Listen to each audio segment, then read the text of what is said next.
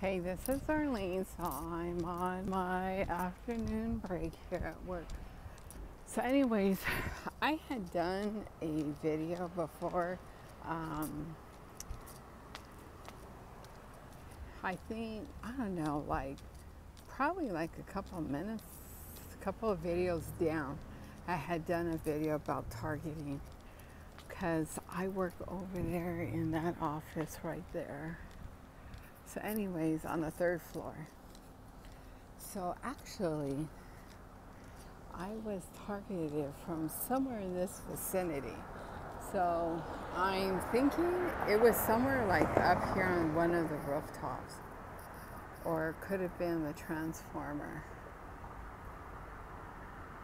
But it looks like whatever was up there was removed if you compare this video to that video. So, it's somewhere up in that area.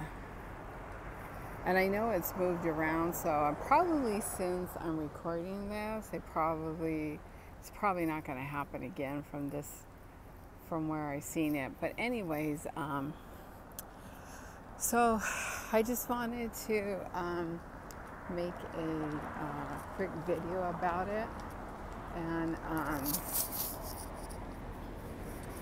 regarding what had happened. So, um, anyways, I'm just doing a quick video. I think it was there. It was somewhere up in that area because unfortunately I can't really see because I'm not on the third floor anymore. So, um, it was somewhere up in that area. And um, this car's just been sitting here with um, just running the car. So anyways, I just wanted to make a quick video and uh, hopefully this one won't get knocked off. So um, I'm just going to go ahead and, because uh, that's CrossFit. I had mentioned CrossFit. I'm not saying they're participants, but it was somewhere in this area. And the other time I located something was somewhere in this vicinity too. So that's why I'm doing the video. Bye.